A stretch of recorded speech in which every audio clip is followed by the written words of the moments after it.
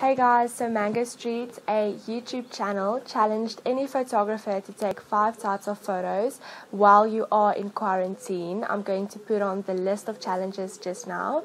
The sixth one is a bonus challenge, um, or they said on their video. So I am only going to do five challenges. So yeah, here is a video of me photographing my brother while in quarantine.